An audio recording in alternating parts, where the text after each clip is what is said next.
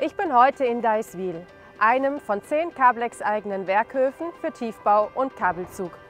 Hier soll künftig das neue Kompetenzzentrum Bau angesiedelt werden. Die Geschäftsleitung hat kürzlich entschieden, das vorgelegte Konzept zum Kompetenzzentrum zu unterstützen. Damit ist der Weg frei für einen ersten Praxistest.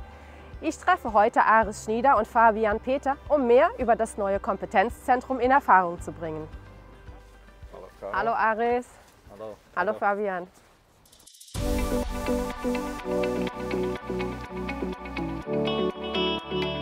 Ja, Aris und Fabian, danke, dass ihr euch heute Zeit genommen habt, um Fragen zum Thema Kompetenzzentrum Bau zu beantworten.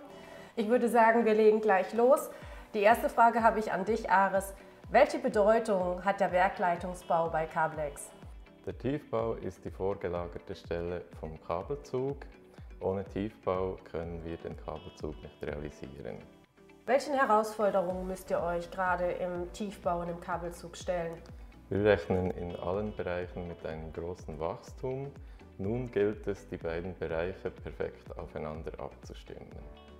Für den Tiefbau wurde ein neues Konzept entwickelt. Fabian, zunächst kurz und knapp, worum geht es dabei?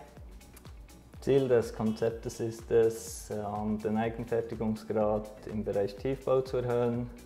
Entsprechend ist unsere erste Aufgabe bei uns im Kompetenzcenter zu analysieren, in welchen Bereichen wir entsprechend Handlungsbedarf haben und dann dort entsprechend anzusetzen.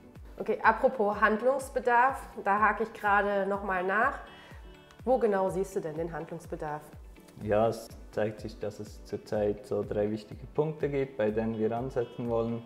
Das ist zum einen das Fachwissen stärken im Bereich Tiefbau. Einerseits wollen wir Mitarbeitende schulen, aber auch neue Mitarbeitende einstellen in diesem Bereich.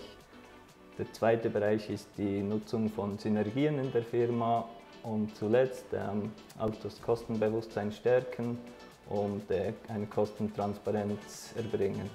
Mhm. Man sieht, es gibt durchaus Handlungsbedarf. Wie kann die Entwicklung eines Kompetenzzentrums hier konkrete Lösungen liefern?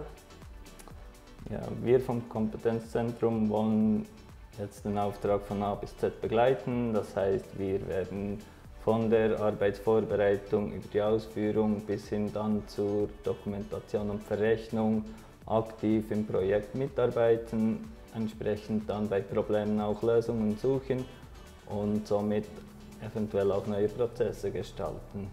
Und diese enge Mitarbeit mit den Personen im Projekt soll dann auch unser One Cablex Gefühl entsprechend stärken.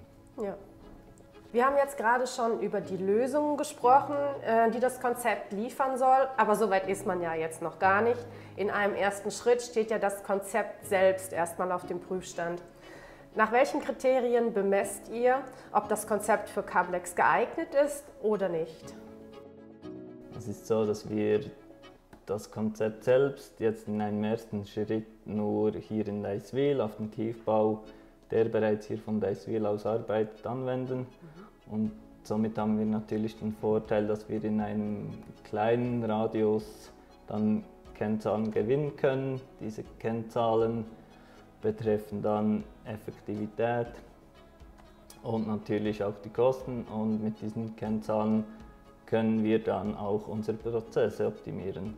Also wenn das Konzept jetzt die Testphase besteht, dann geht es im nächsten Schritt in die Pilotphase. Ähm, wann wird das sein und gibt es schon ein konkretes Projekt? Ja, mit den bestehenden, bestehenden Ressourcen arbeiten wir bereits heute fürs Tagesgeschäft hier von Deswil aus.